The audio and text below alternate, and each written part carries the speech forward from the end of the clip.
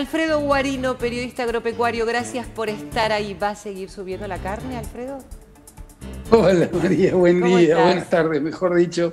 ¿Qué tal, Santa? Un placer. Eh, y por ahora está como estabilizada, te mm. aproximadamente está en los mismos valores de hace unos 10 días, 15 días atrás.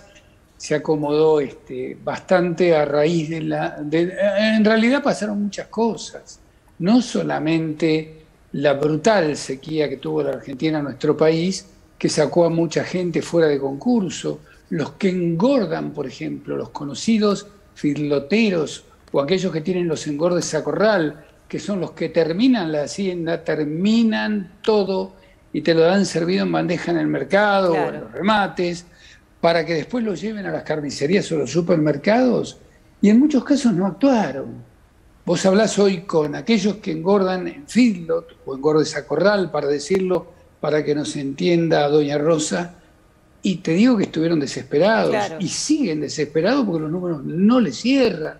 Hubo mucha gente que ni siquiera echó los toros a las vacas porque no tenía para darles de comer la sequía fue brutal. Sí, vimos, sumado a eso lo que ocurría allí en, Corrientes, ¿no? Que cuando veíamos la gran cantidad de animales... María, tremendo, tremendo, porque se perdió muchísima hacienda ahí también. Y además, ¿sabés lo que pasó? Se quemó el pasto, se quemó la comida. Vos llegas a tu casa y te dan la noticia que se te prendió fuego la heladera y no te quedó nada. ¿Qué haces? Bueno, lo mismo le pasó a los productores. Llegaron y se quedaron sin nada. Ahora no tienen pasto para darle de comer. Y la Mesopotamia, sobre todo Corrientes, es una provincia que aporta muchísimo ganado al país. Claro. Muchísimo. Y no va a estar.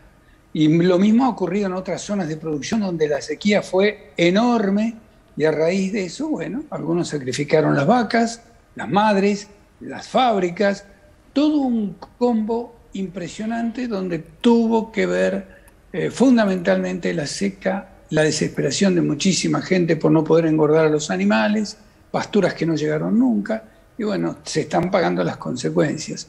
El tema es lo que viene, ¿no? Claro, ahora Alfredo tuvimos que tener una desgracia, ¿no? Para que esto ocurra. Santo, ¿vos querías preguntar algo al respecto? Bueno, digo, teníamos que tener una desgracia o lo, que, o lo que ocurrió como para que se produzca un efecto contrario, que es estabilizar los precios, ¿no? Sí, en realidad los precios se estabilizan porque la gente no tiene plata, sinceramente. No es solamente el tema de la carne. Eh, muchos, muchas amas de casa, las verdaderas economistas de la Argentina, lo que hicieron que fue. Y salieron a comprar pollo y a comprar cerdo. Por eso, porque el cerdo está bastante más barato, y ni hablar del pollo, que en muchos casos a lo mejor conseguís con relación a la carne dos por uno o tres por uno, depende de lo que vayas a buscar. Y el ama de casa sabe de esto. Y cuando tiene que llenar la pancita de sus hijos, no tiene otra alternativa y se la compra pollo. Malabares. Gracias, Alfredo. Un abrazo.